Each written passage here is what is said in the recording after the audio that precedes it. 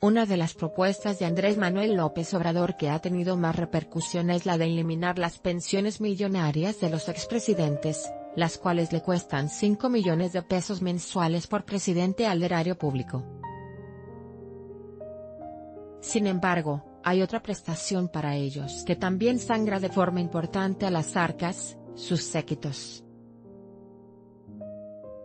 Además del dinero de sus pensiones hay que algunos han renunciado y de la protección de miembros de Estado Mayor Presidencial, los exmandatarios también tienen derecho a todo un ejército de ayudantes, choferes, secretarias, asesores y, en algunos casos, hasta directores generales. Esta mañana, el periódico Reforma retomó un informe publicado por la Oficina de la Residencia Oficial de Los Pinos.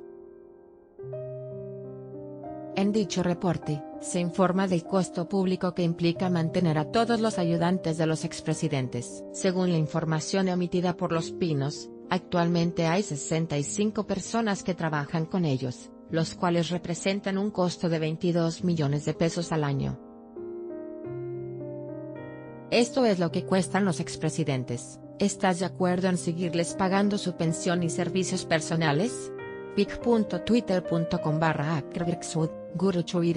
arroba Juli 15, 2018 De acuerdo con el diario Capitalino, cada expresidente tiene derecho a tener un séquito de hasta 25 personas, que se compone de la siguiente manera, un director general, dos directores de área, cuatro subdirectores, cuatro jefes de departamento, cuatro secretarios, tres técnicos, tres choferes y cuatro auxiliares administrativos. Felipe Calderón tiene la nómina más costosa, pues aunque solo emplea 14 personas, su director general gana 195 mil pesos mensuales.